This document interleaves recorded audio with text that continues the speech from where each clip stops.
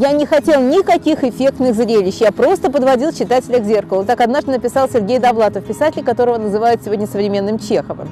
А вот мы хотим и того, и другого. С одной стороны, вид крымских строек ошеломляет. Их слишком много, и они непривычно большие для Крыма.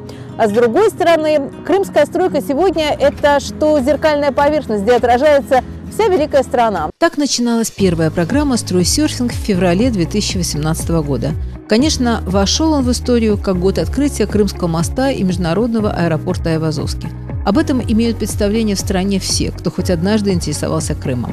Но были и десятки других объектов, таких долгожданных, таких нужных для крымчан. Об их строительстве и рассказывала наша программа на протяжении этого года. Строители из Великого Новгорода реанимировали 50-летнюю школу а, в селе Мазанка. Хирург оперирует больного и видит процесс куда более запущен, чем казалось при внешнем обследовании. В Мазанской школе при вскрытии не только посыпались перегородки, оказалось, что в швах между альминскими блоками просто нет связующего материала, а лотки под коммуникациями прогнили. Школа трещала и настойчиво требовала бандажа, много железа, которое бы держало ее стены. Вот когда это все начиналось, вы видели сомнения в глазах местных жителей, что это реально вообще сделать?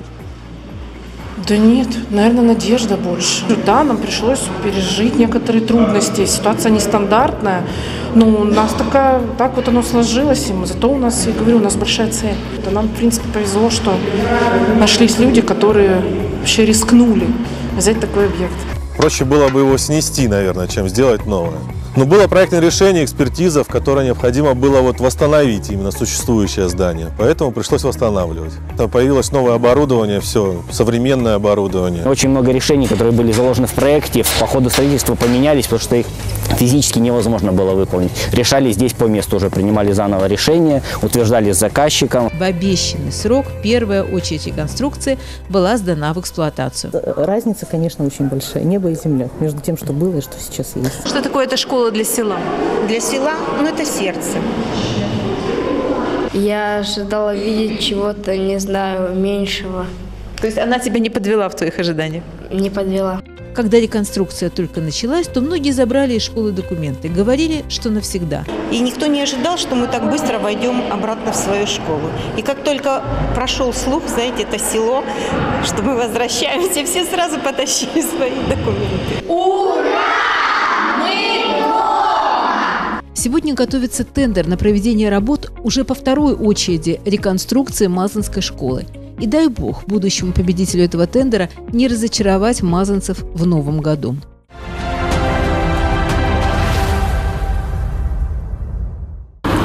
Самое тихое время сюда приехали, потому что сегодня на стройке этого дома для сирот и для людей с ограниченными возможностями, а это будет аж 180 квартир в трех секциях, находится это в конце улицы Балаклавской. Так вот, сегодня здесь бетонный день. А, ну, видите, почти как рыбный день. Это бывает примерно раз в неделю, и в какой-то степени это можно считать подведением промежуточных итогов. То есть залили уже, поставили арматуру, и сейчас заливают бетон. Нет, пожалуй, это так же торжественно, как и банный день для всех, кто любит ритуал еженедельного посещения бани. Когда армируется, когда ставится опалубка, это еще производственный процесс такой долгий и трудоемкий. Да. Заливка бетона, уже результат работы виден конкретно, что этаж поднялся. Сейчас начинается работа на второй секции.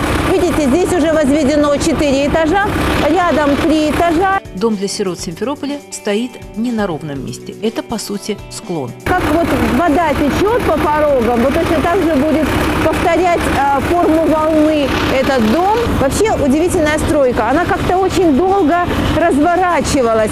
Сначала оказалось, что, ну как всегда, проектная документация не соответствует норме. Потом шел очень долгий торг с авторами этой э, проектной документации. Потом, когда с ними разобрались, оказалось, что вообще-то на фундамент нужно потратить не три недели, а три месяца, потому что неправильно были определены грунты. И грунт здесь скальный, а не тот, который был указан. И для того, чтобы эту скалу прорубить, потребовалось гораздо больше времени и силы денег. Три месяца копали, потому что до 6 метров в скалу углублялись мы. А это не было видно по документам? Нет, нет, в проектной документации этого не было. Я не знаю, что это или ошибка проектировщиков, или экспертов, которые проходил проект, что это не знаю, но факт есть факт. А много таких было ошибок?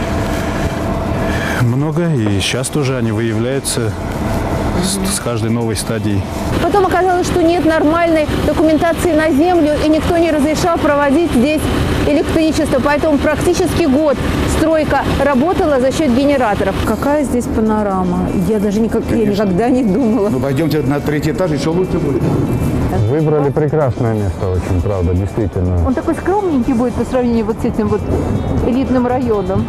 Ну, три пятиэтажных дома, я бы не сказал, что это сильно скромно. Красотища очень красиво здесь. Я думаю, что людям будет приятно тут жить. Большинство строителей на этой площадке увидели Крым впервые. И Сиракан Танаян тоже. Вообще ни разу не был, ни в детстве не был, ни в юности не был, ни в взрослой жизни. Я приехал на три дня, и получилось так, что эти три дня вот до сегодняшнего дня продолжаются. А Это, наверное, самых простющих ваших объектов.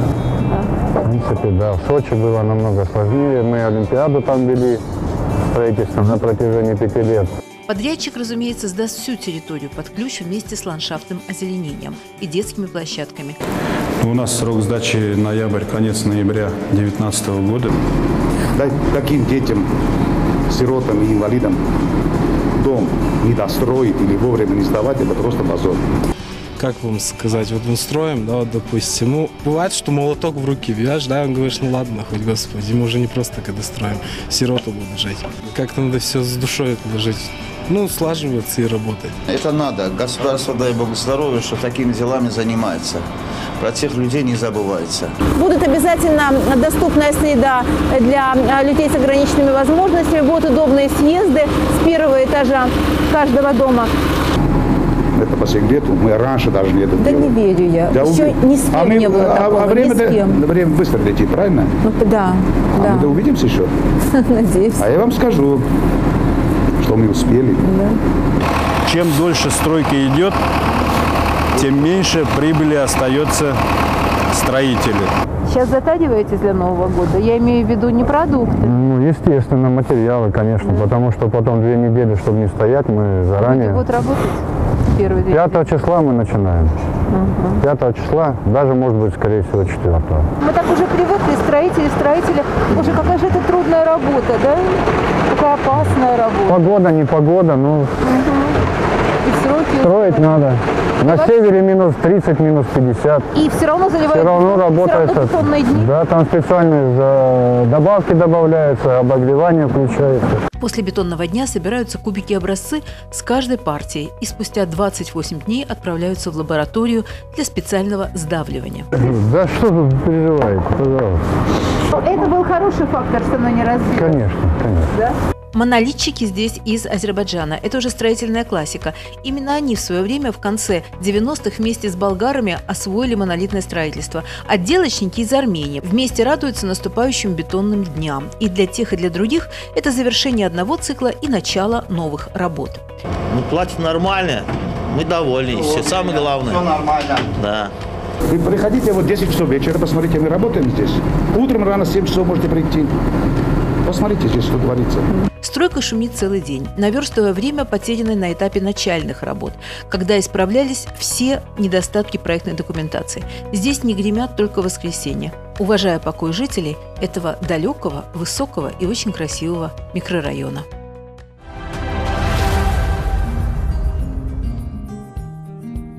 Можно сказать, что строительная судьба крымских спортивных объектов пока складывается удачно. Во всяком случае, наш проект побывал и на открытии долгожданного борцовского зала в Ялте, и на активной стройке спорткомплекса в Симферополе. А сегодня мы на стадионе «Локомотив», которому уже 51 год. Его реконструкция закончится в ноябре 2019 года. И то это только первый этап. Само поле, его полив, обогрев, видео и аудиокоммуникации, строительство котельной – все это технически сложные работы, но подрядчик делает некоторые из них уже с опережением. чтобы уже к следующему году как бы уже выполнять только уже оставшиеся, то есть доведение до, скажем так, до совершенства. Несмотря на всевозможные композитные технологии, покрытие поля будет натуральным. Это и совсем другой уровень удобства игры и минимальный травматизм спортсменов. Здесь нет каких-то сложных там лабиринтов, которые надо изучать. Все перед вами. А Скажите, в 67 году строили лучше, чем сейчас? Поменялась технология строительства совершенно, поменялись э, материалы, поменялись какие-то требования. Работали из того, что было. Сейчас есть возможность э, выбора. Самое сложное – это протянуть провода, слишком большой метраж. До таких строек работы не очень много было у вас, да, в Крыму? Ну, знаете, если хорошо работаешь, работаешь всегда. Вы откуда приехали? Омск. Это ваш первый опыт в Крыму работы на объекте? Нет, до этого работали на садиках ПЦП. А в Омске есть такие похожие объекты, объемы работ, чтобы вы там могли работать? Ну, нет. Нету? Нету, как бы таких нету. То есть для вас это возможность приехать в Крым и заработать? Да. Ну, я как бы здесь уже второй год нахожусь, как бы еще домой не ездил. Вот Поэтому- это за два года вы ни разу не были в Омске? Нет. Потому что туда очень дорогая дорога, да? Ну, Билеты, да. Сейчас вот, допустим, перед Новым годом еще можно улететь подешевле а обратно, то есть дорого. Алексей Леденев, руководить строительством, приехал из Москвы и, можно сказать, занимается делом семейным. Ведь еще его дед участвовал в стройке знаменитого здания Московского госуниверситета. Теперь фирма, где работает Алексей, занята проектами реновации. Я сам крымский, я сам феодосеец. А, вы из Крыма, на самом Да, деле, да? да, То на есть вы просто когда-то уехали и работали, и жили в Москве, да? Да, было время, да. Сейчас вот здесь, на этом объекте, как бы, поэтому он, естественно, мне родной и близ- близок. Но сейчас бы вы на реновации в Москве заработали больше? Не, не всегда, как говорится, деньги самое важное. Более важно, то есть какие-то а, объекты, которые потом запоминающиеся и более которыми можно гордиться. На поле встречаем представителя технического надзора. А почему строители так любят строить с нуля, а не хотят что-то доделывать, переделывать или там делать большие реконструкции? С нуля всегда легче. Строить заново всегда легче, чем что-то за кем-то переделывать или доделать, или реконструировать. Всегда возникают какие-то моменты и сложности. То, что на стройке немноголюдно, совсем не потому, что мешает погода. Пока мы снимали, здесь был и дождь, и снег. Все дело в рациональном подходе. Людей возите за собой какие-то уже готовые бригады или берете... Готовые, готовые, да. Есть готовые бри- бригады сформированы, потому что они работают каждый по своей специализации. То есть вот сейчас как раз идет вот наша бригада тепловиков, которые уже сделали не один объект. Вот сейчас так только они вчера приехали из Москвы. То есть Знаю, вы их с капремонта забрали сюда? На Да, забрали сюда, да, чтобы сейчас выполнять обогрев поля. Первый раз. Первый раз в Крыму? Да. Даже в пионерском лагере не были? Нет, в Артек не посылали. Не посылали в Артек? Нет. Э, Хотели бы еще на каких-то крымских стройках поработать? Или у вас полно работы там в Чувашии? Есть там стройки? Стройки есть, но мало платят. Сколько это мало? Ну, 7-8 тысяч. Это зарплата за месяц? Да. 7-8 тысяч. А где последний объект, где вы это? Я в Самаре делал сам лично. Сами, сами делали в Самаре? Да. А на каком объекте? Самарский – это стадион. Ну, вы можете уже, наверное, закрытыми глазами. Да, знаю. А научиться этому сложно? Несложно. Вы еще Крым не видели. Нет, не видел. А что хотели вы посмотреть в первую очередь? Ну, на море съездить, достопримечательности посмотреть. Это как раз та ситуация, когда матч состоится при любой погоде. У вас были матчи при такой погоде? Были хуже погода была. Вы когда последний раз, ну, может быть, для себя, что называется, гоняли мяч? Да, уже давно я уже. Ну, может быть, собирались где-то за городом такой же компании? Ну, лет 20 назад. Разговор о прошлом стадиона и о будущем футбольного спорта продолжаем с Виктором Орловым, советским футболистом, нападающим. В Крымской Тавре он появился в 70-м году, приехал в 24 года после игры в «Шахтере», на тот момент уже игравшим в высшей лиге. Ну, самая главная особенность – это хорошее поле. Вот это поле тогда, оно и сейчас хорошее, но тогда оно э, считалось одной из лучших в, э, в России. ну, нет, В Союзе. В Союзе. В лучшие времена Таври здесь, вот, мы если проигрывали дома, там, две или три игры за, за сезон, и нам это было стыдно, мы как-то вот очень переживали это все. Сейчас уже этого нет. Сейчас проиграли, выходят и забыли, что они играли, улыбаются, смеются. И вообще с другое время все поменялось, поэтому отношение другое, деньги другие, все другое. В составе Таври Орлов провел более 300 игр и забил более 50 голов. Да, это тоже игровой эпизод. Вы вот это девятый номер. Да, У вас всегда был девятый номер? да. Виктор Орлов воспитал новое поколение футболистов, среди которых даже участник чемпионата мира 2006 года Андрей Несмачный. Ну и вот все ребята, которых вот здесь уже человек 10 уже нету. О былой славе советского спорта, конечно, вспоминает тепло, грустит об ушедших друзьях и о том, что спорт стал просто бизнесом. Это шоу-бизнес вообще, в первую очередь. Это большие деньги. Какой самый для вас э, памятный гол? Ну, вот здесь мы играли, вот в те ворота Динамо Минск обыграли. Какой счет был? 1-0 на последней минуте. Это вы забили? Да, на последней минуте. Уже вот так получилось, что вот я запомнил это. Тишине в то волшебное утро в Топловском монастыре мешали разве что звуки стройки. Но, собственно, ради нее, стройки, затеянной в 2011 году игумени Пороскевой, мы и приехали в Топловский монастырь.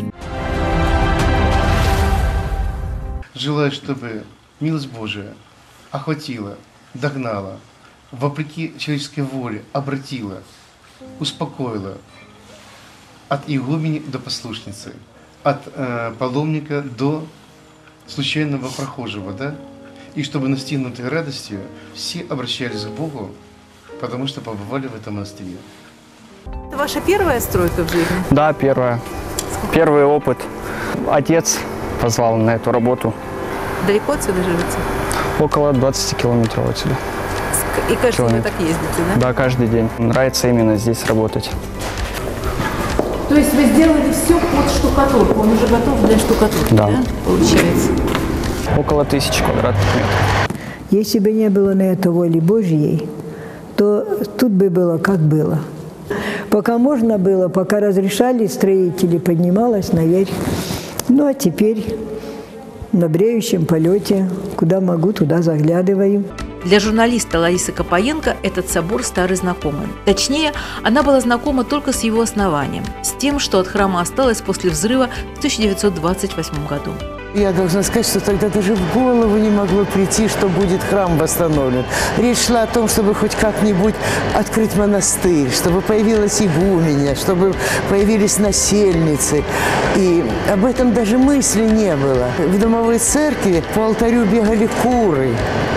Э, Бывшие кельи э, монах, монашинок были разрушены, выдраны даже облицовочные плиты. Здесь был вид просто погрома такого, знаете. Но мне вот почему-то кажется, что он какой-то слишком большой для этой местности. Огромный. Этот храм огромный. Тут должно быть все воздушно, легко, паряще. Вы знаете, Зачем? я вам скажу, маленький храмчик, который сейчас, он не только не вмещает людей, а вся площадь до ворот. От церкви до ворот занята паломниками, когда начинается время теплое, когда приезжают на храмовый праздник, когда отсюда идет крестный ход э, с иконой Божьей Матери Казанской в Феодосию. В этом году 20 лет, как матушка Пороскева пришла в Топловскую обитель. После долгой мирской жизни она была учителем иностранных языков. С тех пор сверяет каждый свой шаг с поступками и заветами той игумени Пороскевы Родимцевой, которая в конце позапрошлого века создала обитель и построила точь-в-точь такой же храм. Точнее, довела его возведение до куполов. Это была одна из самых четырех самых наибольших обителей Святой Руси до революции. И поэтому, конечно, мачка Игуменя хотела такой храм создать, чтобы им в нем сестрам было, всем хватило места, чтобы для молитвы была высота. Топловский монастырь с самого своего основания в конце XIX века переживал эту традицию многолюдия. Сестер здесь в лучшие годы было около 500. Здесь не принято даже мысленно спорить с основательницей обители игуменей Пороскевой Родимцевой.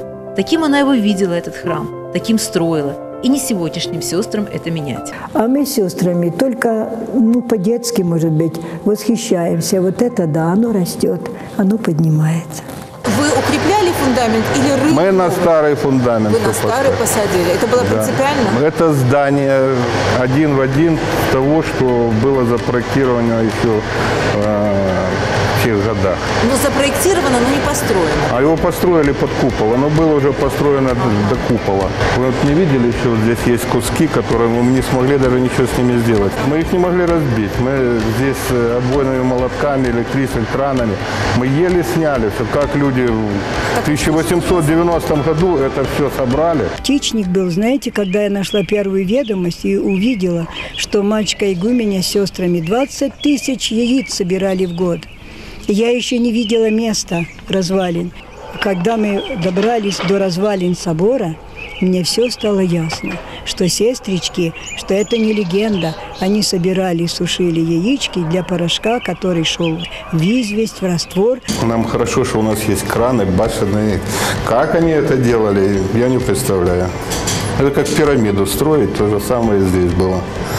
Как такие, мы краном глыбы эти снимали здесь, разбирали колонны, а как они вручную это на телегах все сюда поднимали и закладывали. Это, наверное, народ был просто мощнее, здоровее. Мы Богу благодарны за то, что Он нам дал простых, не витиеватых, но ответственных и таких э, ребят, простите, с которыми можно и посоветоваться, которым можно поплакаться, когда мы чувствуем свое женское бессилие, и которые всегда идут нам навстречу.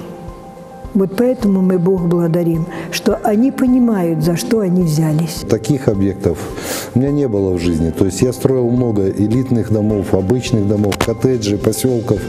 Вот. Но таких объектов у меня еще не было. Ну, старались от души для, на будущее, для будущих поколений. Это не трудно, а интересно, потому что каждый э, новый этап, э, он до этого, хоть мы по 20 лет э, в строительстве, у нас э, не было таких видов работ, как э, 70-тонные арки, э, ни одного у нас одинакового проема. Как бы это единственный из моих объектов, которые э, вживую он выглядит лучше, чем на проекте. Было здесь и 60 человек работало, и 20. Сейчас нас 10 здесь держит. Не останавливаемся, потому что остановиться очень просто. И вот начать по новой потом будет очень тяжело. У основательницы обители игумени Пороскевы Родимцевой был надежный спонсор – граф Гейден, поклонник монастыря. Сегодня пока, э, ну... Место вакантно? Да, пока никто не дерзнул дальше, скажем, тянуть обитель в небо. 2018 полон грустных памятных дат. 90 лет со дня кончины основательницы монастыря игумени Пороскевы, 90 лет со дня первой попытки взорвать храм и 80 лет со дня расстрела 12 юных монахинь. Мачка Игуменя была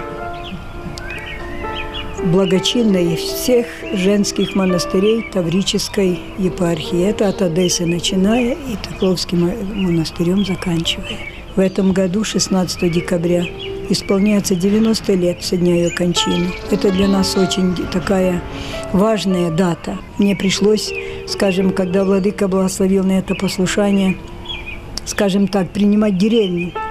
Она приняла леса, дебри, в которых подвязалось несколько монашечек, несколько женщин. Мачка из пустыни сделала цветущий оазис. Взорвали собор на Успение Пресвятой Богородицы. А через три с половиной месяца наша мачка Игуменя от разрыва сердца упокоилась. В расстрельном списке она была под номером один. И возле ее имени чекисты поставили отметку «Умерла». А дальше в том списке были юные, преданные Богу девушки, или, как их называли во всех клировых документах, девицы. Они держались, им пришили контрреволюцию, но ни одна из них не сказала, что я отрекаюсь от Бога. Бог знает, Он знает их подвиг, Он знает их подвиг. Расстреляли и думали, что их память канула века и безвозвратно, но очень крепко ошиблись.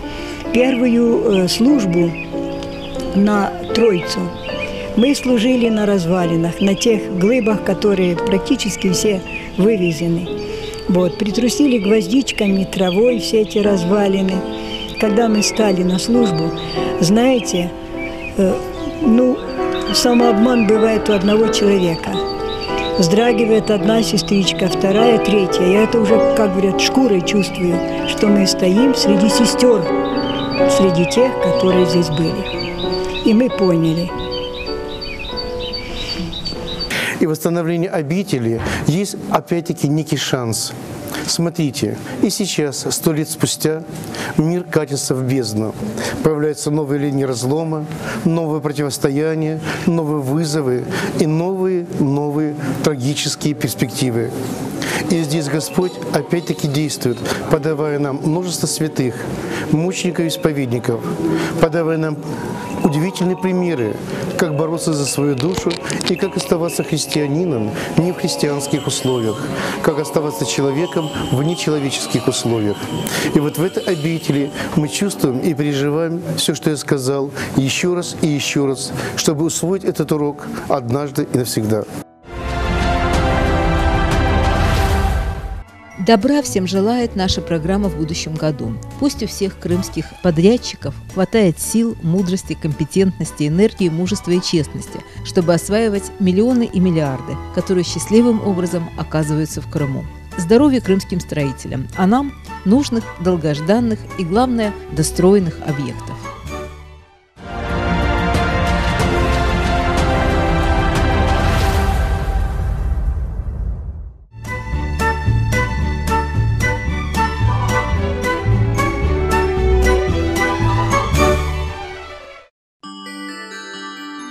Нотариальная палата Крыма поздравляет всех крымчан с новым 2019 годом и Рождеством Христовым. Желаем вам добра, любви, успехов, достатка и порядка в делах. С Новым годом!